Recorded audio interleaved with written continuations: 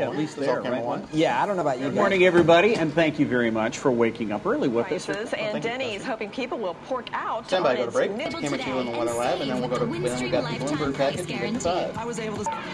Goes off Devil Ford. Goes off me one. QS. Welcome back. Good morning Yeah, to you. you send the kids out to the bus stop, probably a jacket this morning, maybe even a light coat. Something not to be concerned with, but you probably still want to keep that umbrella handy. This is all you. me three. Third Next. block of Southwest 9th Street at Lincoln Plaza in Des Moines. About the world as it is. N14 is dead. That doesn't affect any a few tapes. dollars for red light and speed camera violations.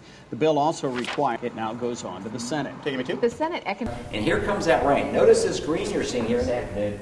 Our sunset this evening at 7:39. Big jump in food This and one's clothing 205. prices. Oh Walmart says consumers will Bridge counters later stating, yes, I was tapping her. As high as 16 All right, we'll feet just by stay tomorrow.